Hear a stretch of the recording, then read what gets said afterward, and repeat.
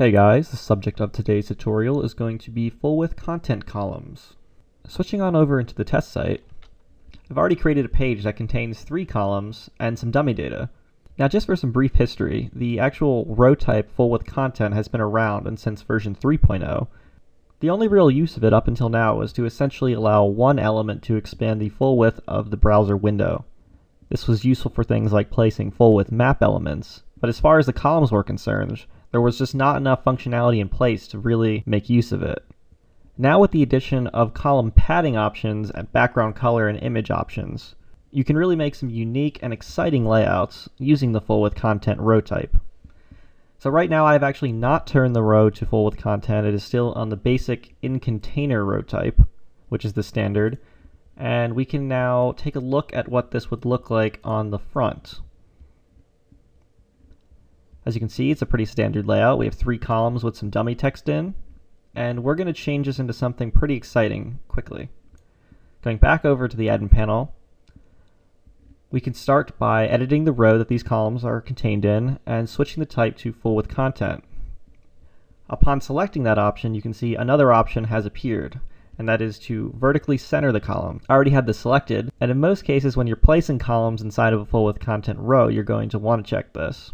This will simply make it so that if there's more text or more content in any one column than the rest, that the columns with less content will still be vertically centered and appear to flow better in the scheme of things. So now we've changed that to full width content, and if we just check out the front, it's actually not going to look very good because there is no separation really between these columns. So they're going to be touching directly, which is definitely not what we'd want in a case like this. So let's go back in and change this. All we have to do is now edit the columns. I'm going to start with the first one and we can start by adding some padding to it, which is going to allow for some separation between each of the columns. And now, after we've done that, just to give an example, such as the demo with the three different color boxes on the home page, I'm going to add a background color. Let's make this one just a blue. And that's about it. So we can save that, and I'm just going to do the same thing for each column really quickly. Use the same padding for consistency and I'll pick a different background color each time around. And the last one, mm, that background color already looks pretty good. So now the last step here would be to simply change, go back into the row type again, and let's make the text color light. Since the colors we've chosen, light text would look better. We have now successfully recreated the look of the demo as far as the color boxes, minus the column animations that you're free to play with, of course. Let's go ahead and create one more full width content row underneath this, and let's experiment with some more effects that we can create with this.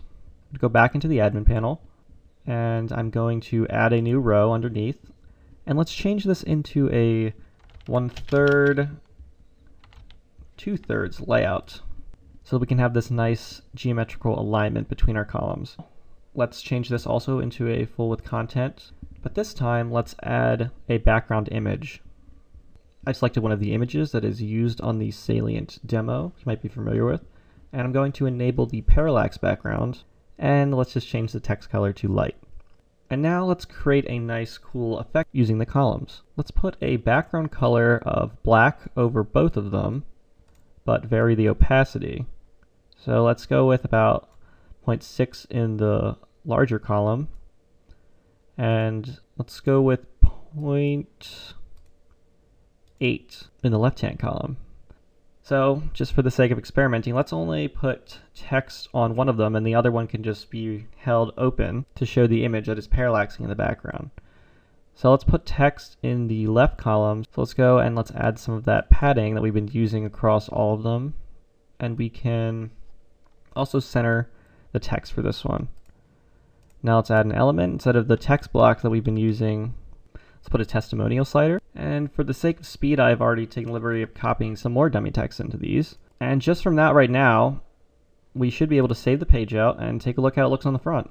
Now you can see we have our three full width color boxes above, and below it, if you scroll down, we will see that we have another full width row that is indeed parallaxing based on the image we set, that has two different shades of opacity background color laid on top of it from our full width content columns. One thing to keep in mind about the new options that were added regarding columns in 4.0 is honestly the layouts seen on the demo and the ones I've been creating in various examples throughout here are just the tip of the iceberg. I mean, this is a very flexible feature, and basically the sky is the limit. I've already seen some users that have had some great use cases of this feature, and I'm excited to see what you're all going to create with it.